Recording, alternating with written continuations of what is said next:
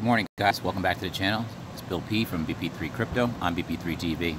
Remember, this is just educational advice only, not investing advice, but this is some pretty good information. Take a look here. We have from about an hour and a half ago, uh, CNBC reports that Google is to end cryptocurrency ad ban. So Google is reversing part of its sweeping ban on cryptocurrency related advertising and plans to allow regulated crypto exchanges to buy ads in the United States and Japan. The new policy start, starts in October. He gives a uh, date for start, but hey, October is coming up. Facebook also started allowing some types of cryptocurrency related advertising back on its platform in June. Well, that's no big news because it's from June, and we already knew that.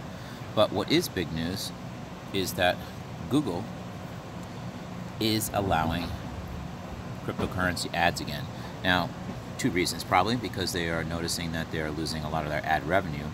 But number two, with the creation of a lot of these stable coins, and Gemini, for example, uh, seeking regulation on their cryptocurrency exchange, Google's going to allow people like Gemini who are in compliance with the United States government and who are regulated to advertise on their platform, right? Big, big, big, big, big plus for the cryptocurrency community.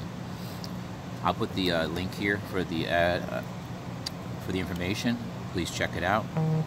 Any questions, leave them in the comment section. Again, remember this is educational advice only, not investing advice. Google ends its cryptocurrency ad ban.